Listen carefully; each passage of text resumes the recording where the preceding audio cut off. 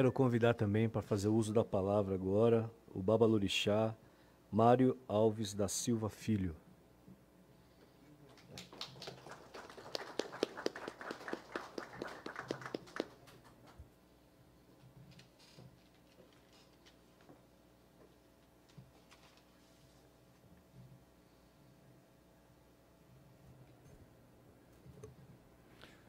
Excelentíssimo vereador Toninho Vespoli, autor do projeto de lei, que concedeu o título de cidadã paulistana após mortem a Julita Lima da Silva Mameto Manaundê. Caros amigos, amigas, irmãos, irmãs, a quem peço a bênção, especialmente a minha grande amiga Maria Pulquéria Albuquerque Lima, Mameto Oyadide que me convidou para fazer uso da palavra para homenagear Mameto Manaundê. Estamos na década internacional de afrodescendentes, cujo objetivo é aumentar a conscientização das sociedades ao redor do mundo quanto ao combate ao preconceito, à intolerância, à xenofobia e ao racismo. A década internacional dos afrodescendentes, criada por resolução da Assembleia Geral da ONU, no dia 23 de dezembro de 2014, busca reconhecer que os povos afrodescendentes representam um grupo distinto cujos direitos humanos precisam ser promovidos e protegidos.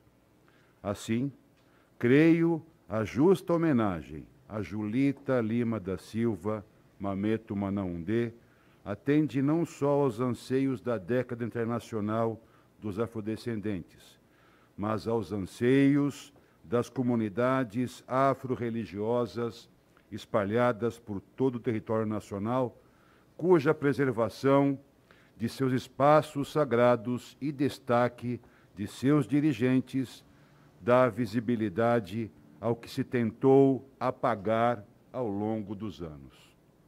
Mameto Manaundê é considerada por todos os pesquisadores a introdutora do candomblé na cidade de São Paulo. Seu terreiro, registrado em 1965 sob o nome de Tenda Espírita Oiadilê, mais conhecido como Terreiro de Santa Bárbara, foi o primeiro a adotar o candomblé como prática litúrgica nesta cidade.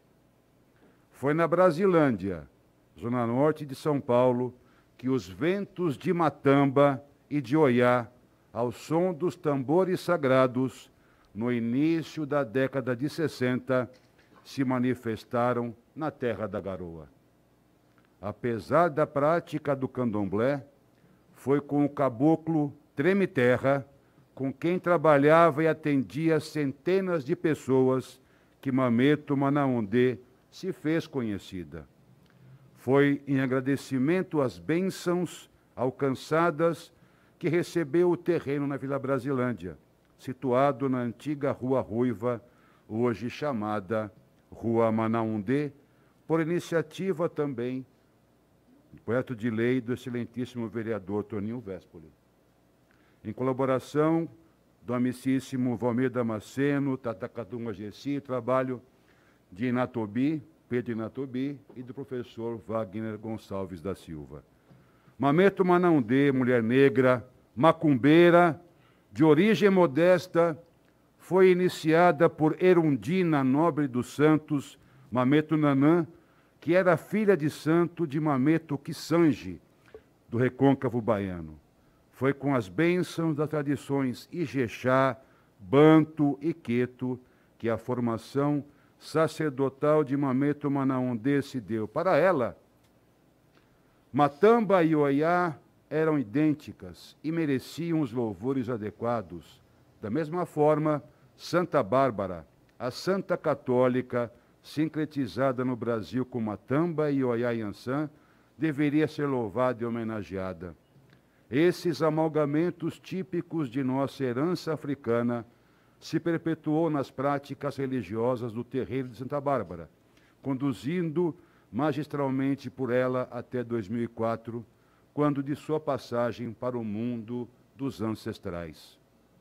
A continuidade de sua obra ficou ao cargo de sua honrosa filha, Mameto Oyadide, mãe Pulquéria de Oiá, que tem correspondido à altura a essa missão.